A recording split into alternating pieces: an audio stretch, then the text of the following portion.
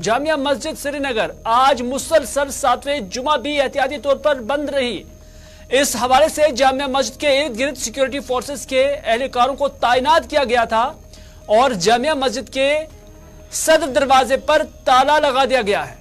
जरा के मुताबिक फलस्तीन के हक में मुमकिन एहतजाज के पेश नज़र यह फैसला लिया गया है और इस हवाले से लगातार मीरवज मौली मोहम्मद उमर फारूक सातवीं मरतबा, रिहाई के बाद आज तवारीखी जामिया मस्जिद के अंदर वाज तबलीग नहीं कर पाए।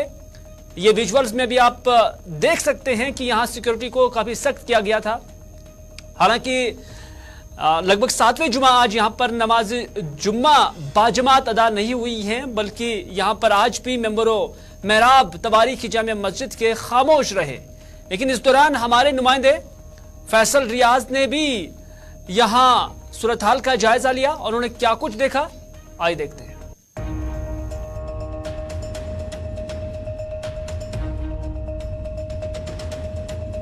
आज सातवें हफ़्ते भी जामिया मस्जिद के इर्द गिर्द सिक्योरिटी का पहरा लगा और उसके साथ साथ जो मरकजी दरवाज़ा है, वहाँ पे बड़ा ताला लगाया गया है और एहतियाती तौर पे आज एक बार फिर से जामिया मस्जिद श्रीनगर को बंद रखा गया। आपको बता दें कि फ़लस्तीन और इसराइल की जंग के पेश नज़र जम्मू कश्मीर इंतजामिया ने एहतियाती तौर पर जामिया मस्जिद को बंद रखा है और उसके साथ साथ जो मीर वाइज मौलवी मोहम्मद उमर फारूक है, उनको भी घर से निकलने की इजाज़त नहीं दी गई। और ऐसे एक, आज एक बार फिर से जो जामिया मस्जिद श्रीनगर के जो मेंबर और महराब है, वो एक बार फिर से खामोश रहे और उसके साथ साथ जो जामिया मार्केट है, अगरचे वो खुला है, लेकिन जो खामोश है, वो एक बार फिर से आज जामिया मस्जिद ही, और जामिया मस्जिद में आज एक बार फिर से नमाज़ की अदायगी की इजाज़त नहीं दी गई। हालाँकि किसी तरह का कोई प्रोटेस्ट शेड्यूल यहाँ पे नहीं दिया गया था, लेकिन इसके बावजूद भी जामिया मस्जिद को बंद रखा गया।